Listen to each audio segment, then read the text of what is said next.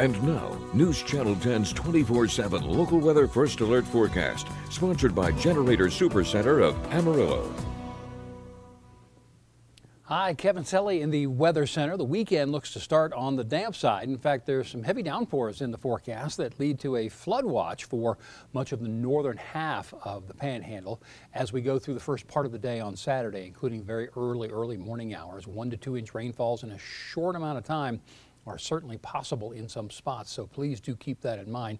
The basic or the highest flood threat is going to be from the Interstate 40 corridor northward as we get on through, especially the first part of the day. Temperatures, boy, it was hot this past week, and we got a little bit of a break. 90 is the forecast high for Saturday.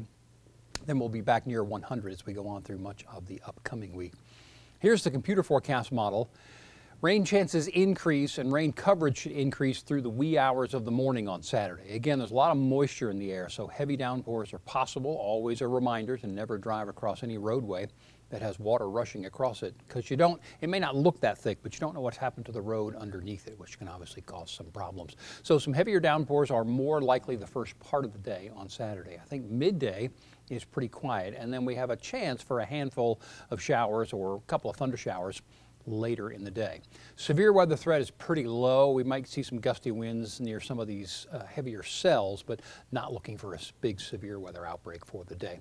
40% rain chance is actually higher earlier, a little bit lower later in the day, 90 degrees for the high.